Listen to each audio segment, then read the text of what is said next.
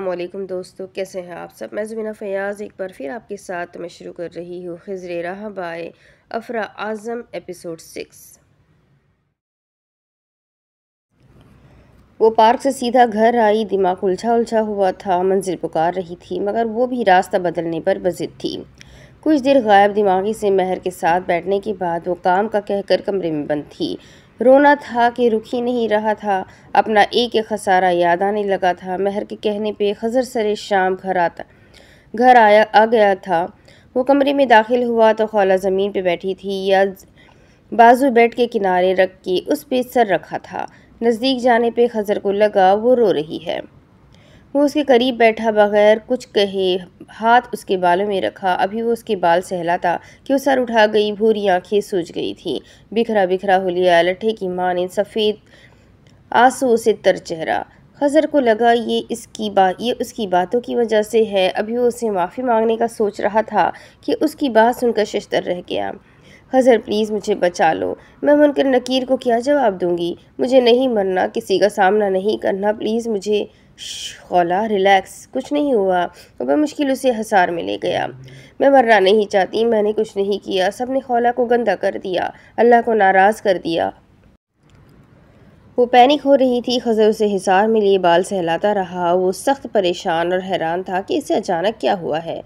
मुझे जहन्नम में नहीं जाना। वो सख्त मजामत करती ज़ोर ज़ोर से रोने लगी थी। ये भी सच शुक्र था कि वो अंदर आते हुए दरवाज़ा लॉक कर गया था। कई आँसू खजर की आँख खजर की आँखों से निकलकर खौला के बालों में जज्ब हो गए। खौला जिस हालत में थी, खजर ने उससे उस हालत में देखने का कभी तस्वुर भी नहीं किया था। खजर ने बेड की पायती से टेक लगाते उसे ज़बरदस्ती हिसार में लिया, उसका सर अपने सीने पे रखे, एक हाथ उसके गिरद फैलाया और दूसरे हाथ से उसके बाल सहलाते। उसने कदर ऊँची आवाज़ में सुर यासीन पढ़ना शुरू की। मुखारिज के साथ, मुखारिज के साथ आँखें मूंदे। वो तिलावत कर रहा था। अभी उसने कुछ आयतें पढ़ी थी कि खौला खौला की मजामत दम तोड़ गई और यासीन ख़त्म होने तक वो उसके सीने पे सर रखे सो चुकी थी, मगर अभी भी वक्फे वक्फे से उसे सिस्कियाँ ले रही थी। कब्र, जहन्नम, आग, ये सब क्या था? कम उम्री में शोहरत पाने वाली इंटीरियर डिज़ाइनर, दुनिया वालों के लिए मज़बूत और मुकम्मल खौला। उस्मान को इस कदर टूटा, उस्मान को इस कदर टूटा और बिखरा बिखरा देखकर वो छब्बीस साल मर्द रो पड़ा था। रात की कोख से एक नई सुबह ने जन्म लिया था। फजर को गुजरे कई सातें बीत चुकी थी। हर सौ सफ़ेदी फैलने की फैलने लगी थी। खजर हाउस की ऊपरी मंजिल पे सोई खा खौला ने मंदी मंदी आँखें खोली। दिमाग में दर्द की ठेस सी उठी थी।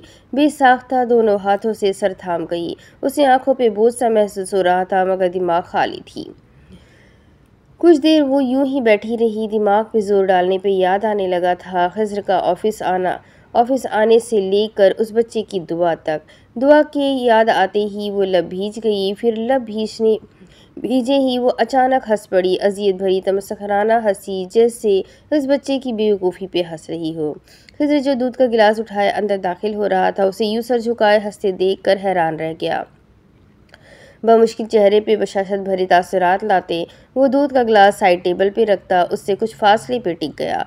वो मज़ीद हैरान रह गया कि खौला बगैर उसकी मौजूदगी का नोटिस लिए सर झुकाए कुछ सोच रही थी। खौला, क्या सोच रही हो? बहुत मोहब्बत और अपनाइए से पूछ रहा था। खौला चौकी कुछ लम्हों तक उसे देखती रही, फिर दोबारा हंस पड़ी, वो वीरान आँखों और सपाट चेहरे के साथ हंस रही थी। उसको यूँ हँसते हुए, हँसते कोई आम बंदा देखता तो उसका डरना फितरी अमल था। उसने कहा कि मैं सच्ची मुसलमान और फ़ातिमा बिनती मोहम्मद सल्लल्लाहु अलैहि वसल्लम के नक्श कदम। बात अधूरी छोड़ती दोबारा हंस पड़ी, मगर इस बार आँसू भी छलक पड़े थे। खज समझ ही नहीं सका वो कह क्या रही है। वो रो रही है या हंस रही है? किसने कहा और क्या कहा? वो हैरान परेशानी से पूछ रहा था। खजर वो बच्चा कह रहा था कि मैं दुआ करूँगा, तुम सच्ची मुसलमान बनो। मैं उसे बताने वाली थी, शैतानों के लिए ऐसी दुआएँ नहीं करती, मगर वो चला गया। वो उसे कहना चाह रहा था, खौला, क्यों इस एक रात में जी रही हो? सब आगे बढ़ गए हैं, तुम भी आगे बढ़ जाओ। अल्लाह पे छोड़ दो, वो बेहतरीन बदला लेने वाला है। मगर वो बात बदल गया, वो उसे अपनी वजह से मज़ीद जहनी बीमार नहीं कर सकता था। एज ए साइकोलॉजिस्ट वो जानता था कि इस वक्त उसकी जहनी हालत अबतर से अबतर है।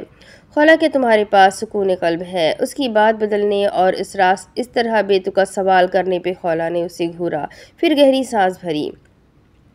जिसकी माँ ने उसे अपनी बेटी समझने के बजाय हमेशा अपने पहले शोहर की औलाद समझ के नज़रअंदाज किया हो, जिसके भाई ने भरे मजमे में इस पुल, उसे पुलिस की हरामत से दे दी, उसकी पुलिस की हिरासत में दे दिया हो, जिसकी बहन ने आखिरी साँसें उसकी गोद में ली हो, जिस पर कत्ल का इल्ज़ाम लग चुका हो, जो दुनिया वालों के लिए कातिल और नफसियाती हो, जो तलाक याफ्ता हो, क्या उसे सुकून कल मिल सकता है?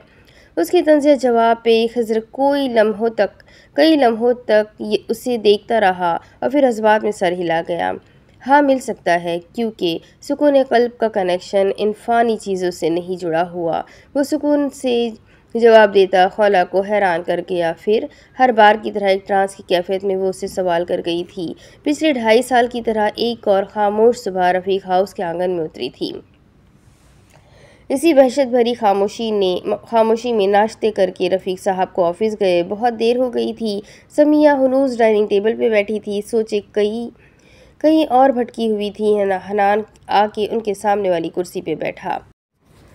मगर वह यूँ ही खोई हुई थी, उनको मुतवजा करने के लिए हनान खंकारा, मगर सामने बैठा वजूद यूँ ही साकित रहा। बात सुने उन्हें मम्मा कहते झिझक सा गया था, समिया ने तेज़ी से सर उठाया।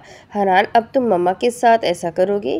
वो बहुत बेबसी से कह रही थी, आपने भी तो ठीक नहीं किया, वो मश शिकवा कर गया। क्या तुम जानते हो मैं क्यों हमेशा से खौला को नज़रअंदाज करती रही? हरान बगैर कुछ जवाब दिए बस उनके चेहरे को देखता रहा, जहाँ दुख के गहरे साए लहरा रहे थे।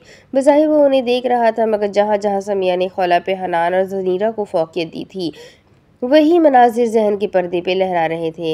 हनान जब मेरी तुम्हारे पापा से शादी हुई तब खौला बारह साल की थी और तुम आठ साल के थे। वो भी बच्ची थी उसे तवज्जो की ज़रूरत थी मगर तुम्हारे पापा को बुरा ना लग जाए। इसी वजह से मैं उसे नज़रअंदाज करके तुम्हारा ध्यान रखती रही। फिर जोनी के बाद मैं उससे बिल, बिल्कुल बेखबर हो गई। वो ख़ुद भी मुझसे दूर हो गई थी क्योंकि वो पहले भी मेरे मेरे बजाय अपने बाबा से ज़्यादा अटैच थी। मैं एक औरत हूँ, एक बार बेवा हो चुकी थी। एक साल तक लोगों की बातें और तन सुनने के बाद मुझमें तलाक याफ्ता कहलाने, कहलाए जाने का हौसला नहीं था। उनकी आवाज़ भीग गई थी हनान बमुश्किल जब से बैठा, उन्हें सुनता रहा। फिर जोनी जोनी के बाद मुझे लगा, इसने मेरे अंदा, मेरे नज़रअंदाज करने का बदला जोनी से लिया है और मैं उसे कसूरवार समझती रही। मगर जब वो अदालत से बरी हो गई तो मुझे वो बेगुनाह लगने लगी थी। कई मोहम सी उम्मीद थी कि बदनामी का दाग उसके दामन से हट जाएगा, मगर तुम लोगों ने वो केस ही बंद करवा दिया। वो रो रही थी, हनान। उन्हें देखता रहा। हरान उन्हें देखता रहा, फिर गहरी सांस ली। ममा आपने जो अपना घर बचाने के लिए आप ही के साथ किया, वो गलत नहीं, बहुत गलत था। बल्कि गुनाह था, बट आप प्लीज़ एक एहसान कर दें, मुझे असल कातिल का बता दें। मुझे बताएँ, आपको कैसे पता चला? वो बहुत बेबसी से पूछ रहा था। खौला इंसान दो चीज़ों से दूसरी तरफ़। खौला इंसान दो चीज़ों से बना है, जिसम और रूह। हमारा जिस्म मिट्टी से बना है और उसकी गज़ा भी मिट्टी से आती है। खाना पीना यहाँ तक कि हमारी इस्तेमाल की चीज़ें भी इंटीरियर इंटीरियर कटली मिट्टी से, कटली मिट्टी से मिल रही है और उसकी नीड्स नीड्स होती है। जो हम पूरी करते हैं तो फिट रहते हैं। गर्मी में, गर्मी लगी एसी ऑन कर दिया, सर्दी लगी हीटर ऑन कर दिया, भूख लगी, कुछ खा पी लिया। खा लिया, प्यास लगी तो पी लिया। यानी हम जिस्म को फ़ीड करवाते हैं। और इसी तरह रूह आसमान से आई है और उसकी गज़ा भी आसमान से आई है, यानी कुरान। कुछ देर के लिए वो खामोशी से खौला को देखता रहा। जब जो पहलू बदल गई थी, यूँ जैसे यहाँ से जाना चाह रही हो, वो गहरी सांस भरते दोबारा गोया हुआ। खौला अल्लाह ने दिलों का सुकून अपने ज़िक्र में रखा है। इस हकीकत से हम इनकार नहीं कर सकते, ना ही भाग सकते हैं। अल्लाह, ये ऐसे है जैसे ख़बरदार किया जा रहा हो अनाउंसमेंट की जा रही हो। सुनो, फिर आगे फरमाया, बज़िक्र अल्लाह तत्मीन ततमयीनकलूब दिलों का सुकून अल्लाह के ज़िक्र में है। यूँ जैसे ये एक चैलेंज है कि दिलों का सुकून अल्लाह के ज़िक्र में है। हम भाग ले, जहाँ मर्ज़ी ढूंढ ले, मगर मिलना कुछ नहीं है। मेरी बात गौर से सुनो, क्या इस तरह नहीं होता कि हम बेचैन होते हैं और समझ नहीं आता कि क्या चाहते हैं? और तब हम देर तक दोस्तों से गप्पे लड़ाते हैं मूवीज़ देखते हैं, हर दूसरे दिन शॉपिंग पे जाते हो जा, जाते जाते हो, जानती हो क्यों? खौला इश्तियाक से सुन रही थी। वो कुछ लम्हों तक जवाब का इंतज़ार करता रहा। कोई जवाब नहीं आया तो गहरी सांस भरी। हमें लगता है ये हमारे जिस्म की नीड है, बल्कि ये हमारी रूह की बेचैनी होती है। रूह जिसका कनेक्शन अल्लाह से है और उस, वो उससे बातें करना चाहती है, उसको सुनना चाहती है। मगर हम उसके, उसे, उसकी गज़ा देने के बजाय, उसे ज़बरदस्ती थपक के सुलाने की कोशिश करते हैं और ये सोने के बजाय सरकश हो जाती है। और तब बेचैनी, बेसुकूनी जन्म लेती है। जानती हो, आज दुनिया में सबसे ज़्यादा डिप्रेशन की मेडिसिन क्यों सेल हो रही है? जानना, जानता था, जवाब नहीं आएगा। इसीलिए कुछ लम्हों के लिए ठहर कर खुद ही जवाब देना शुरू किया। क्योंकि हमने रूह को नज़रअंदाज कर दिया और जब ये भूख से बिलबिला उठी तो हमें लगने लगा कि हम जहनी मरीज़ हो गए हैं। और इसका इलाज हमने दोस्तों की फजूल मजालस में मूवीज़ में शॉपिंग या मेडिसिन में ढूंढना शुरू कर दिया। खाला प्लीज़ अपना मकाम पहचानो। क्यों ख़ुद को ज़ाय कर रही हो? अभी तक कुछ नहीं बिगड़ा। वो उसे समझाते समझाते आखिर में बेबसी से इल्तजा कर गया था। सब ख़त्म हो गया है। वो खोए खोए से लहजे में बोल रही थी। खजर मुश्किल चेहरे पे बशाशत भरे तासरात लाया। तब तक सब कुछ हमारे हाथ में है, जब तक सूरज मगरिब से नहीं निकल जाता, जब तक हमारी आखिरी सांस नहीं निकल जाती, जब तक हमारी रूह परवाज ना कर जाए। ढाई साल बहुत बड़ा अरसा है, बहुत दुख से कह रही थी, यूँ जैसे आँसू छलकने को तैयार हो, खजर मुस्कुराया। वो तो उन्हें भी अपना बंदा मानता है, जो सारी ज़िंदगी उसकी ज़मीन पे उसी की नाफरमानी करते हैं। खौला वो रब बहुत अजीम है। या अल्लाह मेरी तौबा। सच्चे दिल से कहे, ये तीन लफ्ज़ हमें उसकी रहमत के साय में दाखिल कर देते हैं। निदामत के आँसू बह जाने के बाद वो माफ़ कर देता है। ये नहीं देखता कि कितने अरसे बाद आया है। बस ये देखता है कि मेरा बंदा आया है। अपने किए पे शर्मिंदा है, माफ़ी चाहता है। और वो अल, गफूर, वो अलगफूर रब बग़ैर लम्हे की देरी किए माफ़ कर देता है। खिजर वो मुझसे बहुत गुस्सा होगा किसी मासूम बच्चे की तरह डरी सहमी बता रही थी। आँखें नमकीन पानी से भरी हुई थी। हौला, एक हदीस का मफहूम है कि एक बंदा इतने गुनाह करे कि ज़मीन से लेकर आसमान तक हर चीज़ उसके गुनाहों से भर जाए और वह एक आँसू बहा के सच्चे दिल से कहे, या अल्लाह मेरी तौबा। तो अल्लाह ताला उसके तमाम गुनाह अपनी रहमत से माफ़ कर देते हैं।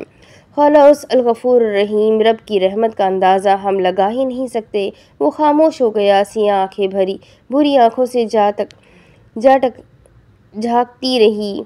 भूरी आँखों में झांकती रही, खौला नज़रें बदल गई, फिर गहरी सांस भरी। अगर वो इतना गफूर रहीम है तो फिर उसने जहन्नम क्यों बनाई है? पहले वाला फसूस सहर जाता रहा था, दोबारा पहले वाली खौला ने सर उभारा था। खजर ने यूँ अपनी पिछली गए पिछले एक घंटे की मेहनत ज़ाय होते देख कर गहरी सांस भरी। खौला के निकाह के कुछ देर बाद। मिसेस समिया, वो ख़त और पैसे था थामे साकित हो गई थी। दिल में कई दर्द सा उठा था। उस्मान की शबी लाशूर के पर्दे पे लहराई। जिससे शर्मिंदगी से नज़रें चुरा गई थी। निकाह से पहले ही हनान अपने कमरे में बंद था और रफ़ीक साहब निकाह के बाद बाहर गए थे। वो उनके आने से पहले ही खौला के कमरे में गई। खाली, बिल्कुल खाली कमरा मुँह चिड़ा रहा था। वो ड्रेसिंग टेबल के सामने खड़ी आईने में जाने की तलाश, तला, आईने में जाने तलाशती रही। जाने क्या तलाशती रही। शायद खौला का अक्स उसका माजी या उस पे हुए मजालिम का सबूत। उनकी आँखों से मुसलसल आँसू बह रहे थे।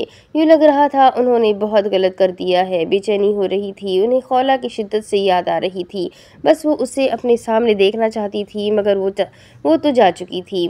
दूर उन सबसे, दूर उन सब बेएतबार लोगों से बहुत दूर। उनकी नज़रें, उनकी नज़र ड्रेसिंग टेबल के नीचे पड़ी, जहाँ से कोई मैरून चीज़ ज़ाहिर हो रही थी। उन्होंने अचंभे से देखा, फिर झुक के उसका कोना खींचा तो वो एक डायरी थी, जिस पे गर, जिस पे गिरद धूल लगी, जिसके गिरद धूल लगी हुई थी। यूँ जैसे उस डायरी की मालकिन अरसे दराज से उसे फेंक के भूल गई हो। दूसरी तरफ़, भूलो मत कि वो गफूर रहीम है तो अलजब्बार भी है, अलकहार भी है। खजर क्या एक माँ कभी अपने बच्चे को आग में डाल सकती है। खजर ने गौर किया तो उसके लहजे में तंज नहीं था, बल्कि एक सवाल था। नहीं, कभी नहीं। जवाब बिला तौक़ और नरमी से आया था।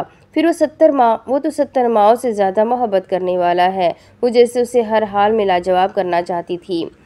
खौला मुझे बताओ कि वो अबू जहल, अबू लहब से भी सत्तर माओ से ज़्यादा मोहब्बत करने वाला है। वो जाने कैसे बिला तौक़ के नफ़ी में सर हिला गई।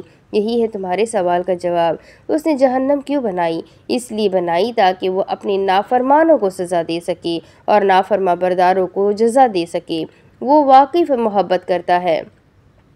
मगर उनसे जो उससे अपना मानते हैं, जो उसकी मर्ज़ी की मंशा पे ज़िंदगी गुजारते हैं, वरना उसके लिए इंसानों को जहन्नम का ईंधन बनाना कोई मुश्किल काम नहीं है। वो कुछ देर रुका, सोचता रहा, खौला उसे ही देखती रही। आज से पहले वो उससे कभी इतना प्यारा नहीं लगा था।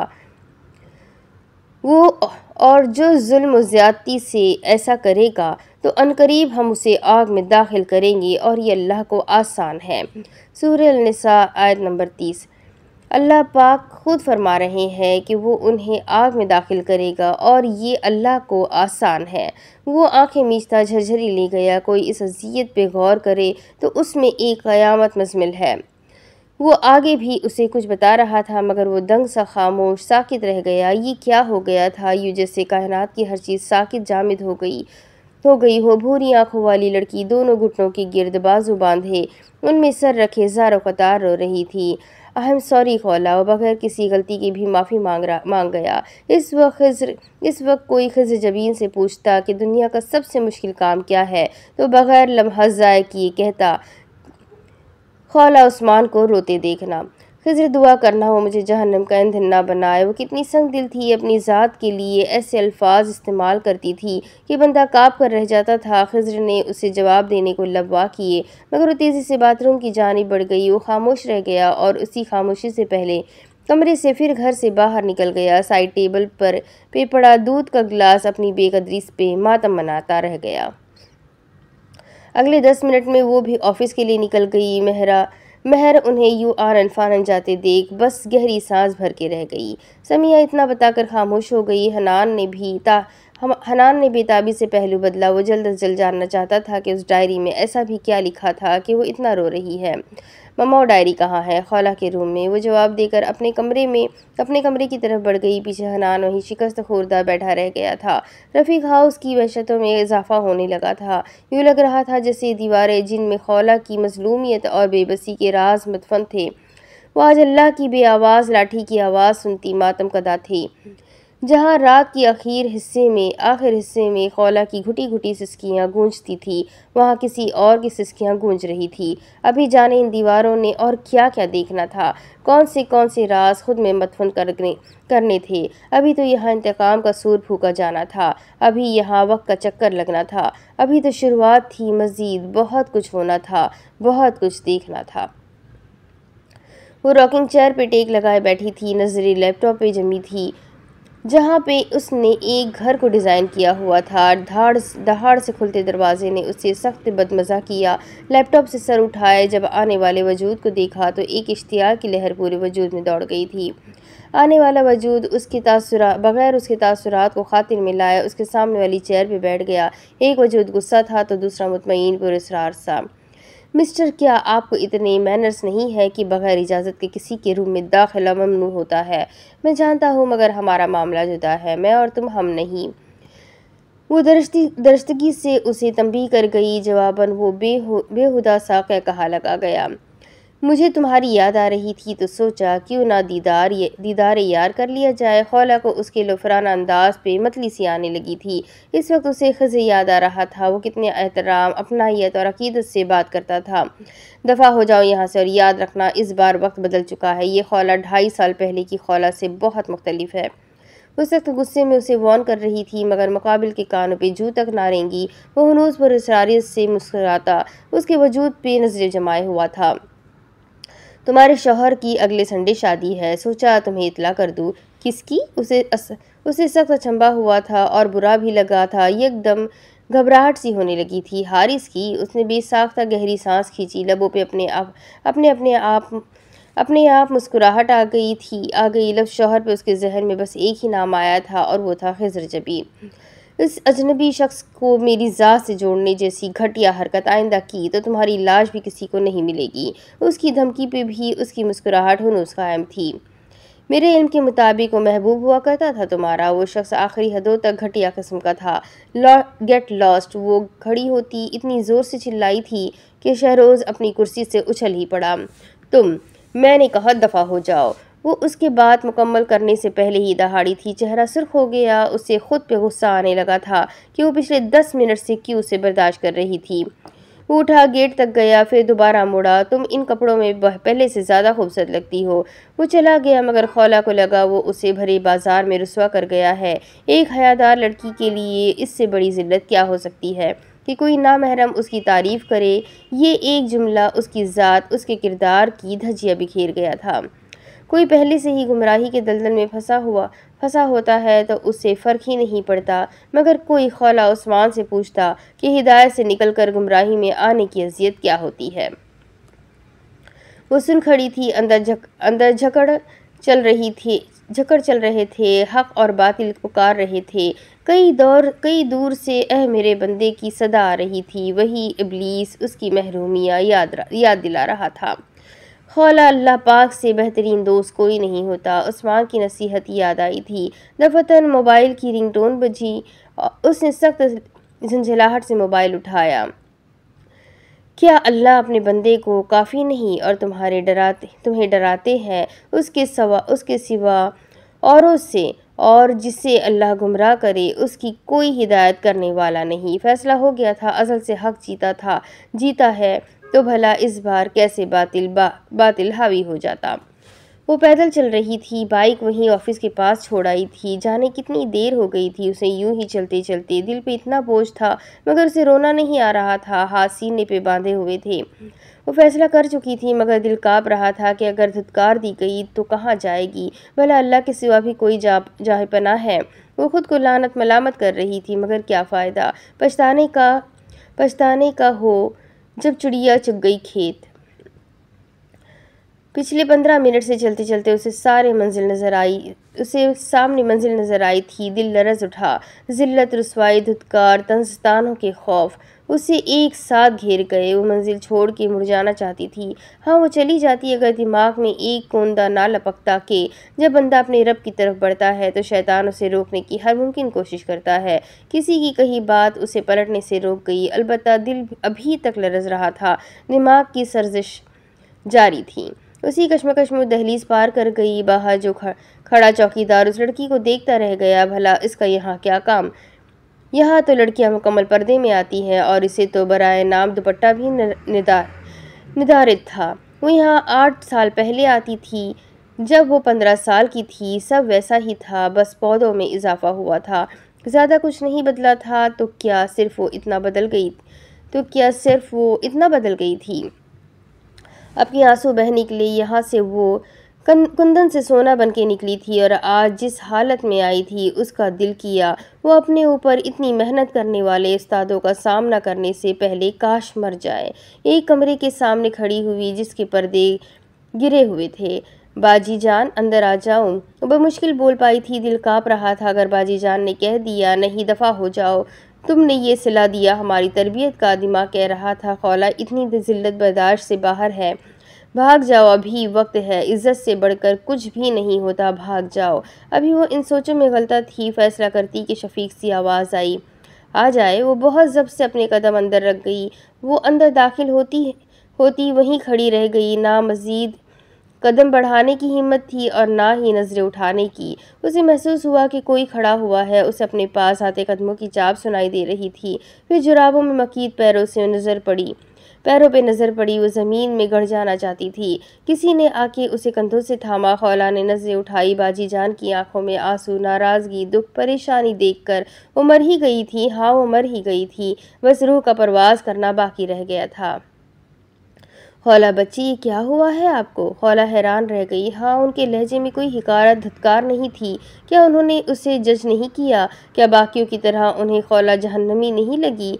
बाजी जान उससे आगे कुछ बोला ही नहीं गया। वो उनके गले लगे रो दी थी। बाजी जान बगैर कुछ कहे उसकी पुश सहलाती रही। वो शदीद रो रही थी, जैसे ढाई साल का गुबार आज निकाल देना चाहती हो। दस मिनट गुजर गए। उन्होंने उसे आराम से खुद से जुदा किया, उसे बिठाते टिश्यू का बॉक्स उसके सामने किया, फिर गिलास में पानी डाल के दिया। कई साथ एक खामोशी से बीत गई। मैंने अल्लाह को नाराज़ कर दिया। वो नीचे देख रही थी। अभी भी वो उनको देख नहीं पाई थी। उसे मना लो वो मान जाएगा। वो जवाब बहुत सुकून से आया था। दुनिया वालों ने मुझे नाकर्दा गुनाहों की सज़ा दी, सज़ा दे दी। फिर उसकी तो मैं मुजरिम ठहरी हूँ। इबलीस भला उसे कैसे इतनी आसानी से जाने दे सकता था? खालिक और मखलूक क्या मुकाबला? खालिक और मखलूक का क्या मुकाबला? क्या वो मुझे बगैर सज़ा के छोड़ सकता है? वो सख्त हैरान थी। खला, में तुम्हें एक वाक्य सुनाऊँ? इजाज़त मांगी गई। इस टूटी बिखरी लड़की ने बगैर लम्हा ज़ाय किए इस बात में सर हिला दिया। मफहूम है कि नबी इसराइल नबी इसराइल में एक शख्स था, बनी इसराइल में एक शख्स था और वो बहुत अयाश था, कोई गुनाह ऐसा ना था जो वो ना करता हो। हर बुराई उसमें मौजूद थी, लोग उसे वाज दे, वाज सुनाते, वाज और नसीहतें करते करते उगता गए तो हज़रत मूसा को कहा गया कि उसका फ़ैसला करे। फैसला ये हुआ कि उस शख्स को कबीला बदर कर दे, करके दिया जाए। अब उसे कबीला बदर कर दिया गया। वो वीरान बयाबा में वो कुछ दिन तो गुजारा करता करता रहा, मगर अब बात फाकों तक पहुँच गई। ना बंदा, ना बंदे की ज़ात। इस वीरान बयाबा में वो अकेला भूख से तड़प रहा था। और इसी हालत में अजल का लुकमा बन गया, हज़रत मूसा। पे वही नाजिल हुई कि फ़ला जगह जाए, वहाँ हमारे दोस्त का इंतकाल हुआ है। उसकी नमाज़ जनाजा अदा करे तो बनी इसराइल वहाँ पहुँचे। तो क्या देखते हैं कि ये तो वही शख्स है जिसे कबीला बदर कर दिया गया था। अब कौम में तनाज़ा हो हो गया कि ऐसे शख्स की नमाज़ जनाजा में हम शिरकत नहीं कर सकते। तो हज़रत मूसा ने दुआ की कि अह मेरे रब, आप फरमा रहे हैं कि आपका दोस्त है। लोग कह रहे हैं, सारी ज़िंदगी नाफरिया, नाफरमानियों में गुजार दी है। आखिर माजरा क्या है? और रूह और वही नाजिल हुई। कि जब फाकों की बदौलत बात यहाँ तक पहुँची कि उसे यकीन हो गया कि अब रिहाई मुमकिन नहीं, वक्त रुखसत पहुँच चुका है, तब उसने अपनी दाएँ तरफ़ देखा, बाएँ तरफ़ देखा, आगे देखा, पीछे देखा तो कोई नहीं था। जिसे वो पुकारता, जिससे मदद की फरियाद करता, फिर उसने ऊपर की जानब देखा, आँखों में बेबसी थी वो जो सारी ज़िंदगी जिसकी नाफरमानी करता आया। आखिरी वक्त में उसी को पुकार रहा था, वो कह रहा था कि यह अल्लाह, आज सारी दुनिया ने छोड़ दिया, कोई नहीं है, आपके पास आया हूँ इस उम्मीद पे मेरे गुनाह आपकी रहमत से ज़्यादा वसी नहीं होंगे। और अल्लाह पाक फरमाते हैं कि मूसा हमारी गैरत को गवारा नहीं कि हम उसे खाली हाथ लौटा देते।